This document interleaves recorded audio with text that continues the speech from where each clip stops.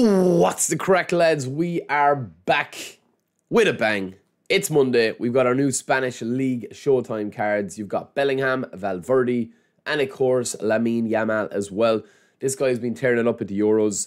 Bellingham hasn't really caught fire yet. And of course, Valverde, just one of the most, like, I, I would say, probably the most, like, you know, fit into any tactics, any formation, any system, any play style type of players in eFootball. Very underrated he finally gets a card that he deserves, right? So we're just going to give a brief rundown rundown of these. I will be back streaming. Throat's still a bit sore.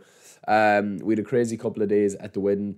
So we are going to give a quick rundown through these cards. We're also going to take a quick look, but not really do training guides. If you want to see training guides on these guys that are part of the other selection, to be honest with you, lads, at this stage in the game, unless you're a newcomer, you don't really need to be going for these. I mean, you should be going for these uh, three players if you're looking for that. You know, Yamal, uh, Bellingham, and Valverde are definitely worth going for. But these guys, yeah, they will boost up your squad if you're a newcomer, but they're not that different from GP. You know, you'd never be spinning and saying, like, oh, I want to get Koke here with this pack and spending coins on it. It's just madness, really. But we are going to start with Jude Bellingham. Now, Bellingham, by my count, has had about 14 cards, I think. He's down as a whole player. I'm actually going to hide my face cam here a sec to show his booster. And he can play in a lot of different positions. You can train him for a CF, an SS, left side, right side, DMF. You can train all of those with him, but he can play as an AMF and a CMF off the rip. He's down as a whole player, so that is why I would build him as an AMF. Now, I want to show you something very unique about this Bellingham. He obviously has 35 levels. He also has Striker's Instinct as his booster. So this is definitely the card that a lot of people were probably waiting for. This is definitely like his Real Madrid kind of season card, you know, where he was obviously scoring lots of goals and getting into those positions, playing as kind of like a second striker, you know, like kind of like a shadow striker just behind the CF, you know, um, because obviously Madrid don't play that direct kind of number nine. Double touch, sole control, and of course he has interception and fighting spirit. This card does not have um, from the rip. He does not have flip flap. So if you want advanced double touch or ball roll, this is not going to be it uh, off the rip. Bellingham needs that to be trained on him. But he's got Trickster, amazing run inside of run along Ranger, and first time shot, one touch pass, true passing, and interception of fighting spirit. Very nice card. He does need a bit of work. He definitely needs weighted pass. He needs low lofted pass for a whole player. And I would say I'd also give him, because of his animation, I would 100% try and give him flip flap as well. He's on A rating and this is his booster. He goes to 88 overall without any manager boosts. Usually, when I'm training players, I don't take the manager boost into consideration. I try and get the certain thresholds hit, so I try and get his finish into 85. And if he gets a boost up to 88 or 90, then that's a huge bonus.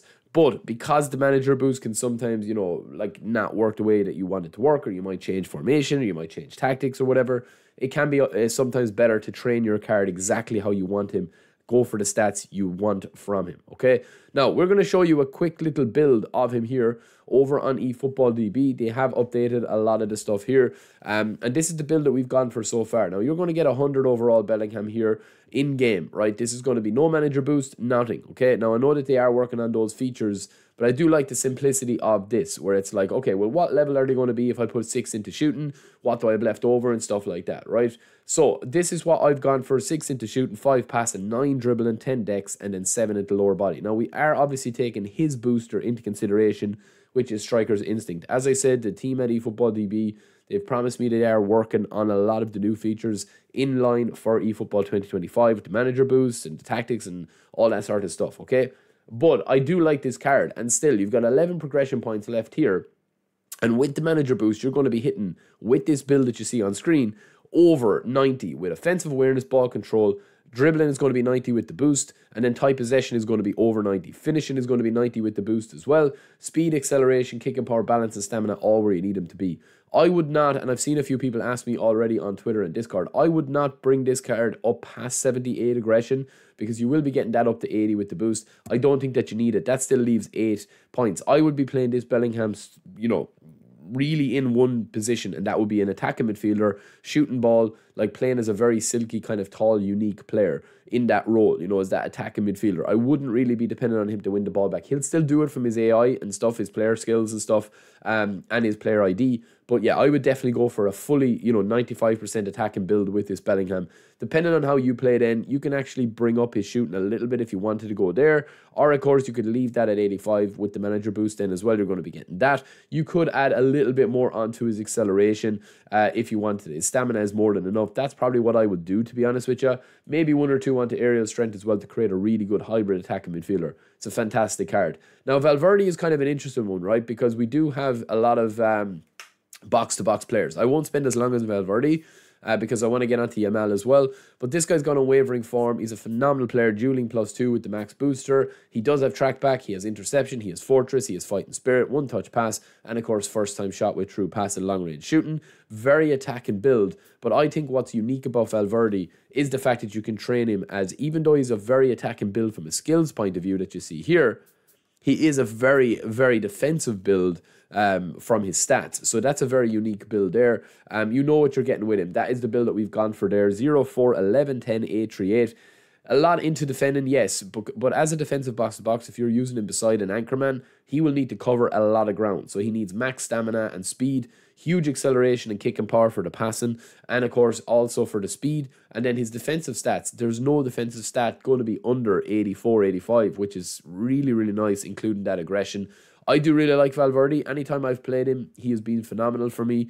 Uh, I do really like this card. I think it's a, a, really, really nice card. And also because of the fortress there as well, if you if you um, you know, obviously the fortress can be a little bit kind of uh, you know, it can be a little bit under the radar, so to speak. Fortress isn't one of those you know blitz curler animation style player skills, but it's always nice to have a unique card as well. Now, next up we have Lamine Yamal. This guy is an absolute beast.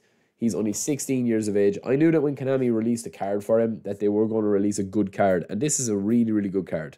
I mean, straight away, he's got kind of everything meta that you could possibly want from a winger without having to do anything to him for a first card at 16 years of age. Double touch, flip flap, and sole control with momentum dribbling and one touch pass, as well as true passing, and of course, long range curler with pinpoint crossing and outside curler phenomenal, phenomenal starting base for your player skills for a player that is still going to have really really nice levels. He's got 32 levels here you're that you're going to be able to use and we're going to use them and just put it basically make him just a speedster there's no point really doing anything else with him. Yes his finishing is low but we can get that to about 80 if we really want to right? This is the build we've gone for 8 0 7 13 and 8 now that's going to max out his acceleration to about 100 obviously with the boosters here he's going to be getting a boost to speed and balance and dribbling and tight possession, but not to acceleration. So I would definitely go as high as you possibly can with the acceleration, balance, and offensive awareness, which is dexterity, because you are going to hit ball control, dribbling, and tight possession to 90 as well. Now, you could also go the opposite way, depending on because he's obviously got momentum dribbling. You could get seven or eight points back here, and you could throw him into dribbling there um, and have two left for passing if you want to do that build but that's going to put your ball control, dribbling, and tight possession a little bit up. It's not going to hit 95 with the ball control, dribbling, and tight possession unless you have the manager boots and the big managers, right? But I do prefer balance and acceleration on smaller players. This guy's kind of like a bit of a hybrid because he's 180 centimeters, so it's it's kind of a difficult one compared to you know smaller wingers built versus you know larger kind of wingers that need that raw um, stats, right? But yeah, it's a phenomenal card. Obviously, it's in a pack of 150. I think a lot of people have been waiting for this. I think it's slightly undercooked because Bellingham has had so many cards recently. He was in the England pack, he was in this pack, the Player of the Week. Um, you know, and I do think that this is the third in a row. I do think that uh, Yamal is going to be the pick of the pack here because it's just a very unique card, and I think that he will be absolutely buffed. Um, you know, with the dribbling and momentum dribbling. So let's see. We will be streaming in a little bit. Don't forget to subscribe. We're back, baby. I will talk to you in a little bit. Let me know if you spun for him. And of course, we will be able to check out your builds for him on the stream later. Until then, I'll talk to you in a bit. Peace.